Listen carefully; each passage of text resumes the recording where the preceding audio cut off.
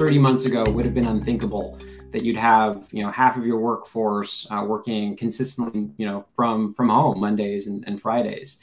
And the reason why that matters is there's now a lot of corporate activity that's happening off network. And by off network i mean folks are accessing corporate data uh, carrying out corporate tasks on personal devices personal networks uh, and sometimes sharing in the day called traditional instructor-led training, right? Me in a classroom, you as a student, traditional education model we're probably all familiar with. Uh, but I, I, was one of the few people early on that pioneered online learning and, and, was doing online training very early on. And I've been doing it for better part probably of 20 years now, maybe even a little longer.